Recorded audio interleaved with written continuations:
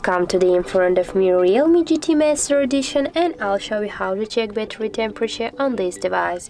So first you should go to the Play Store and here on the search pool type the Ampere.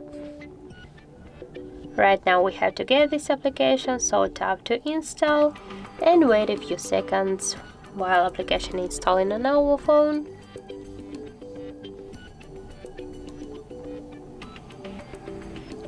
Now just tap to open application. Here click yes I agree, be close.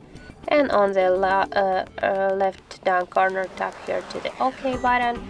And as can you see right now the our battery temperature is 29 and 4 degrees.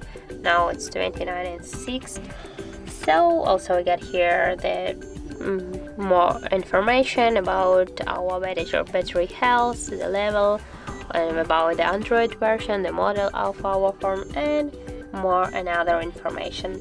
So that's it. If you found this video helpful, leave like, comment and subscribe our channel.